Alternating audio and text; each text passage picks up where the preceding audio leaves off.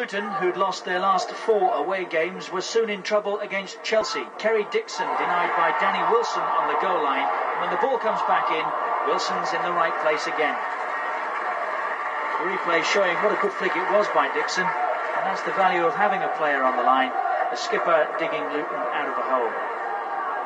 Soon after, Kingsley Black showed why Nottingham Forest were prepared before the transfer deadline to spend more than half a million on him.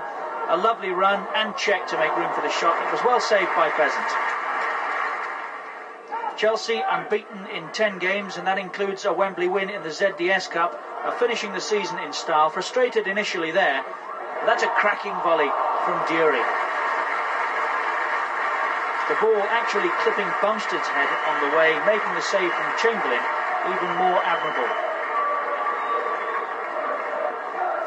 Clive Wilson was a second half substitute for his namesake Kevin, and he got on the end of a sweeping attack here. Durie with the dummy. Not a bad strike from Wilson. A very good save from Chamberlain.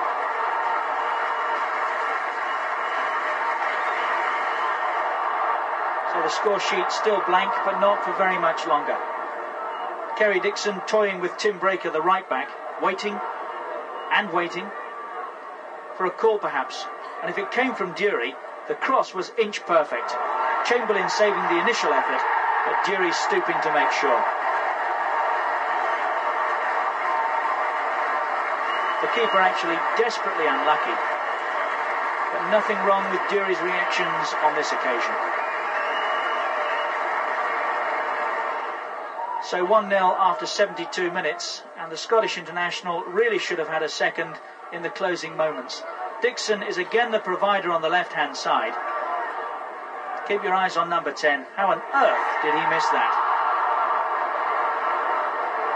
The replay actually giving us a better idea.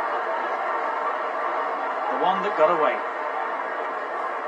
Chelsea 1, Luton Town nil.